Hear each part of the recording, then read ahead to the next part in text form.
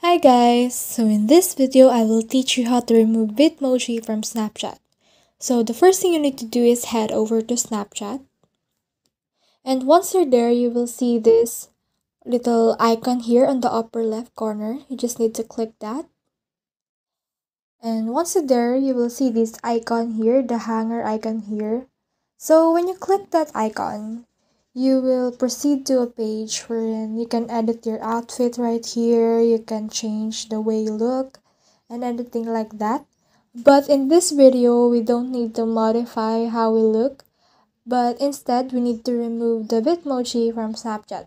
So to do that we just need to head over again to the home screen page and then click this gear icon here. This is the settings of snapchat. Click that and scroll down until you can see this bitmoji here.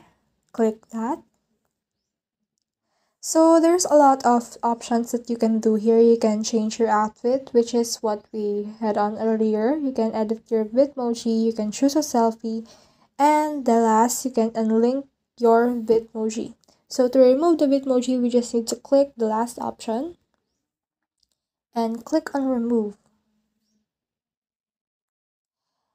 And now our Bitmoji has been unlinked or removed. So once we head over again to the home screen, we can no longer see the Bitmoji that we have here. So I hope you learned a lot from this video. Make sure to like and subscribe if you love this kind of contents. Follow for more.